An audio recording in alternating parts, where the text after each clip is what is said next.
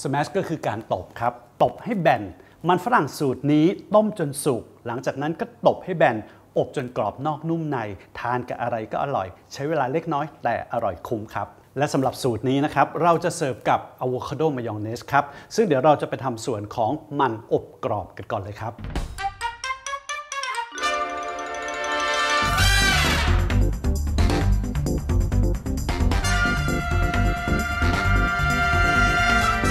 พักมันให้คลายความร้อนเล็กน้อยนะครับ ที่สำคัญ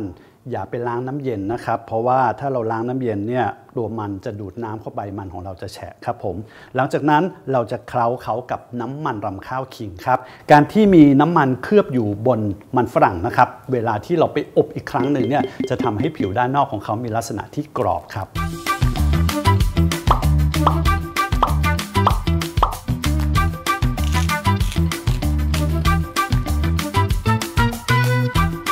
และในระหว่างนี้เราจะมาทำอะโวคาโดมายองเนสกันนะครับ โดยเราจะเริ่มจากการทำมายองเนสก่อนครับ ส่วนประกอบที่สำคัญมากในการทำมายองเนสนะครับ อย่างแรกก็คือไข่ครับ เราจะใช้เฉพาะไข่แดง และเป็นไข่แดงดิบ ดังนั้นต้องเลือกไข่แดงที่สดและก็มีคุณภาพสามารถทานดิบได้นะครับ อย่างที่ 2 ก็คือน้ำมันครับ น้ำมันที่เราใช้เนี่ยนะครับควรจะเป็นน้ำมันที่มีรสชาติเป็นกลาง แล้วก็ไม่มีกลิ่นครับ ดังนั้นน้ำมันรำข้าวคิงตอบโจทย์ได้อย่างดีทีเดียวครับ เดี๋ยวผมจะตัวน้ำมันรำข้าวคิงไว้ก่อนเลยนะครับ ในสูตรนี้ต่อไข่แดง 1 ฟอง เราจะใช้น้ำมันอยู่ที่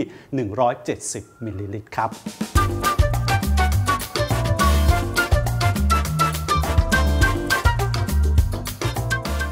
ขั้นตอนของการหยอดน้ำมันนะครับ เราต้องค่อยๆ หยอดลงไปแล้วปั่นไปด้วยนะครับ เป็นสายมันจะทำให้เข้ากันได้อย่างดี แล้วก็ได้มายองเนสที่เนื้อหนาๆแบบนี้ครับ วันนี้เราจะปรุงให้มีรสชาติเค็มหวานอ่อนๆ แล้วก็มีเนื้อของอะโวคาโดลงไปผสมครับ โดยการใส่เกลือน้ำตาลและอะโวคาโดครับ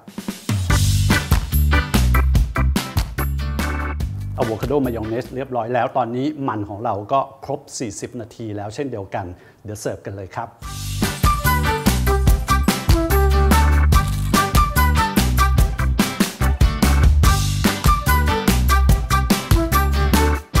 ร็จเรียบร้อยครับ อาหารว่างง่ายๆนะครับ มันอบกรอบกับอะโวคาโดมายองเนสครับ อาหารว่างที่เป็นมิตรกับสุขภาพเราครับ